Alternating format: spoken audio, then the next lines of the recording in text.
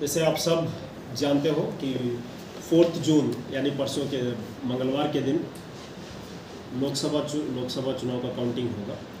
इस विषय में हमारे डिस्ट्रिक्ट में टोटल तीन तीन काउंटिंग सेंटर है। एक विशालगढ़ में, दूसरा सोनामुरा में, तीसरा जम्मू जिला में।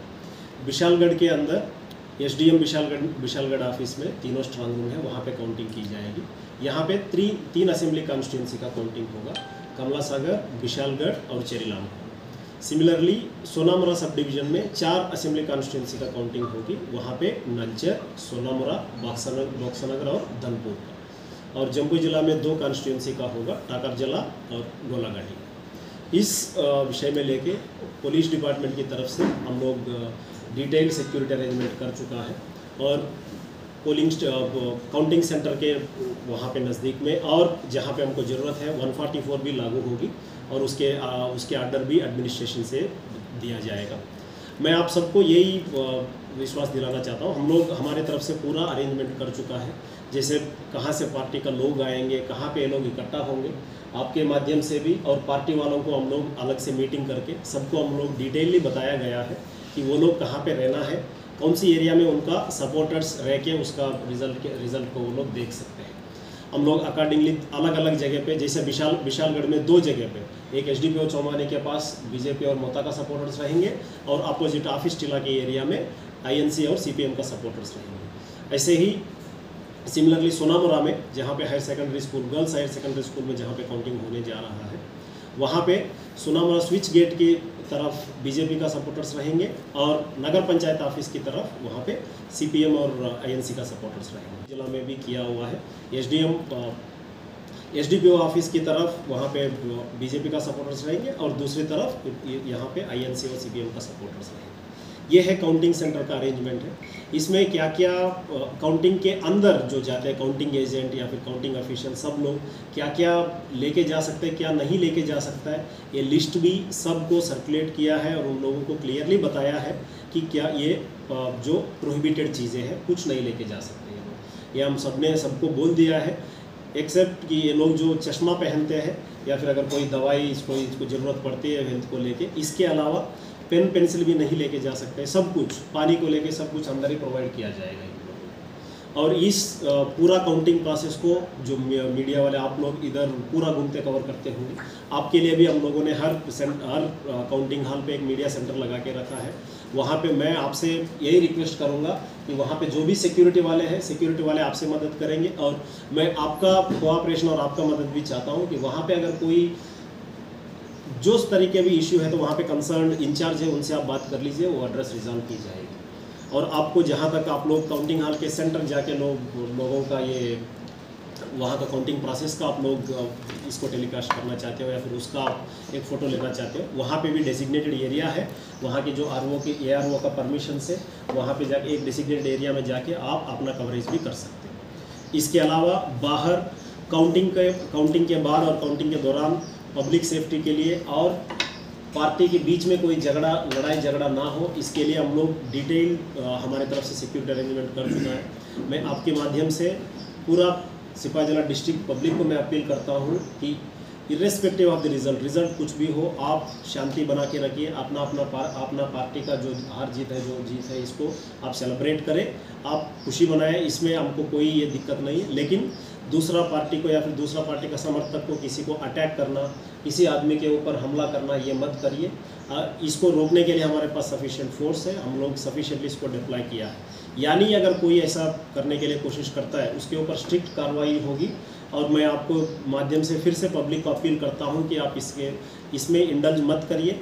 जितना आप शांति रखेंगे, ये आपके लिए भी अच्छा है और पब्लिक के लिए भी अच्छा है। तो मैं रिक्वेस्ट करता हूँ कि आपकी तरफ़ से भी एडमिनिस्ट्रेशन की तरफ़ से हम लोग, हमारे तरफ़ से अपील कर ही रहे और आपकी तरफ़ से भी मैं आपको रिक्वेस्ट करता हूँ कि आप भी आपका चैनल से, आपका पत्रिकों से आप ज़रूर लोगों से अपील करिए कि लोग वायलेंस से रिफ्रेन करें।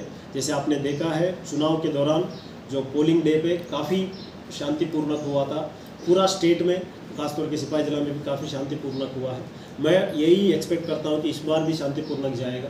पिछले बार इलेक्शन के दौरान मीडिया का रोल जो है, इसमें हम लोग काफ़ी, आप सबको मैं बार बार बोल चुका हूँ, इतना पीसफुली जाने में आपका बहुत महत्वपूर्ण रोल है इसमें। जहाँ पे भी छोटा सा भी घटना को तीन चार मीडिया वालों ने तो मुझे खुद पर्सनली कॉल किया, हम लोग उसको भी एड्रेस किया। है तो मैं अंत में फिर यही कहना चाहूँगा कि हम लोग काउंटिंग के लिए पूरे तैयारी कर चुके हैं और पूरा जितना भी पब्लिक इसको वहाँ पे आके काउंटिंग सेंटर में आके अपना अपना पार्टी को जो मदद करता है, वहाँ पे ये लोग रह सकते हैं, उसको पार्टी के साथ साथ में रह सकता है। बट कोई इसमें वायलेंस नहीं होगी, नहीं होने चाहिए, हम लोग यही इंश्योर करेंगे। और इस काउंटिंग के लिए भी और आगे के लिए आप सबको, मैं सब सपोर्टर्स को बेस्ट ऑफ़ लक देना चाहता हूँ और आपके द्वारा यही लास्ट में अपील करूँगा कि शांति बना के रखिए। हम लोग साथ में सब लोग रहने वाला है, मैं चाहता हूँ कि सब शांति बना के रखें और आगे जाके ऐसे ही शांतिपूर्ण एटमोसफियर रहे डिस्ट्रिक्ट सब एच डी से डिस्कस करेंगे। डिस्कस करके आपको ज़रूर एक जगह जहाँ दिखाएँगे जहाँ पे हम लोग पूरा आपके बाइक रखने के लिए आपका गाड़ी रखने के लिए हम लोग ज़रूर व्यवस्था करेंगे सर हम लोग जानते हैं कि थ्री लेयर सिक्योरिटी अरेंजमेंट होता है हर काउंटिंग सेंटर में। तो ऐसे सर कौन रहेगा? सी पी एफ़ कहाँ रहेगा? ये त्रिपुरा आर्म फोर्स कहाँ रहेगा? और त्रिपुरा पुलिस कहाँ रहेगा सर जहाँ तक तीन लेयर का सिक्योरिटी का सवाल है तो ई का मैंडेट है कि तीन लेयर सिक्योरिटी प्रोवाइड करनी जो काउंटिंग हॉल सेंटर के जो सिक्योरिटी होगी, जहाँ पे काउंटिंग चल रहा है ई का स्ट्रांग रूम का सिक्योरिटी क्या है, इसका पूरा सी रहेगी।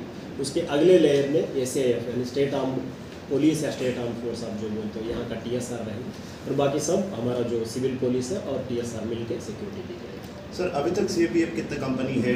इलेक्शन के पहले कितना आ गए थे? अभी कितना है ये? अभी तक हमारे पास स्ट्रांग रूम के लिए एक डेडिकेटेड कंपनी है, तीनों स्ट्रांग रूम में मिला के एक कंपनी है और बाहर भी हम, हमारे पास जो डिस्ट्रिक्ट में लैंड ऑर्डर के लिए अलग सा कंपनी दिया गया है।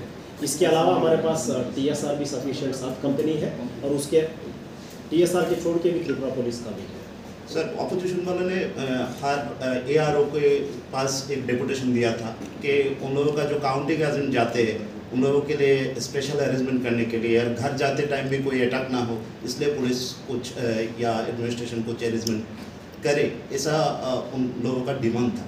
इसके बारे में कुछ कहना चाहिए ये विषय को लेके जब जॉइंट मीटिंग हुआ था डिस्ट्रिक्ट में जो, जिसमें डीएम सर और हम दोनों बैठे थे, सब पॉलिटिकल पार्टीज़ के साथ। इस विषय पे काफ़ी डिटेल डिस्कशन हुआ है और सबको हम लोग ये क्लियरली बताया है कि जिसी को, जिसको भी जो इश्यूज़ है काउंटिंग एजेंट जाने के लिए और आने के लिए, उनको लिस्ट देने के लिए, उसको इनफ सिक्योरिटी दी जाएगी सफिशेंट सिक्योरिटी दी जाएगी कि वो लोग अंदर आने के लिए और बाहर जाने के लिए। भी जैसे आपने देखा है कि पिछले असेंबली इलेक्शन में और बाई इलेक्शन में भी जितना भी हम लोग किया है, वैसा कंप्लेंट कहीं से नहीं आया है। जहाँ पे भी कंप्लेंट आया कि हम लोग तुरंत एक्ट किया है। और जैसे आपने सवाल पूछा तो मैं फिर से बोल रहा हूँ अगर किसी को दिक्कत है तो वो लोग तुरंत हमको अप्रोच करें। सब लोगों को हम लोग इंश्योर करेंगे वो लोग काउंटिंग सेंटर में जाएँगे और वापस जाने के बाद वापस जाने के लिए हम लोग ज़रूर उसको सिक्योरिटी प्रोवाइड करें। सर आप सीएपीएफ या सेंट्रल फोर्स कुछ है? इसके पास हमारे पास सीएपीएफ सेंट्रल फोर्सेस भी है और स्टेट आर्म पुलिस भी सफिशिएंट नंबर्स में है। इस इसीलिए मैं आपसे फिर से बोल रहा हूँ कि इसमें वायलेंस होने का कोई चांस नहीं है। अगर कोई इसमें वायलेंस करने के लिए कोशिश कर रहे हैं उनके खिलाफ स्ट्रिक्ट कार्रवाई ली जाएगी और सब down the line O C level तक सबको क्लियर इंस्ट्रक्शन दिया है तो no violence will be tolerated thank you और कुछ?